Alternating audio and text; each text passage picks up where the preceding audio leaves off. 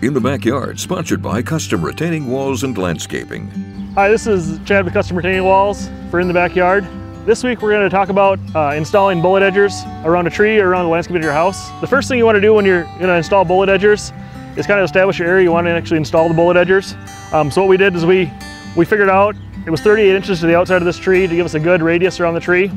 We marked that with spray paint uh, in a circle here and then we excavated down um, four inches in that circle to give us a good area and a, and a good flat area for the, for the bullets to actually sit around the tree.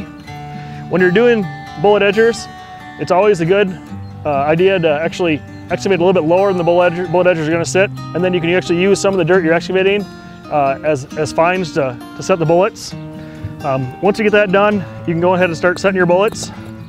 When you set the bullets, it's really important to keep them flat and level, otherwise you'll chip edges in the back ears here.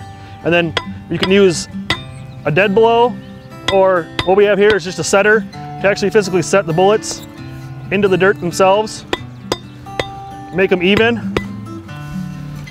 and then just work your way around the tree until you complete the circle all the way around. Once you have that done, you're gonna use dirt and fill in along the outside of the actual bullets themselves. Level that out until it's even with the grade that was existing before. Clean all your bullets off. And then it's time to mulch the inside.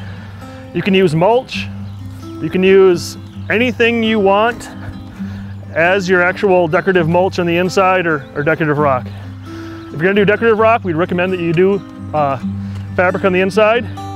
This is Chad with In the Backyard, and we'll see you next week.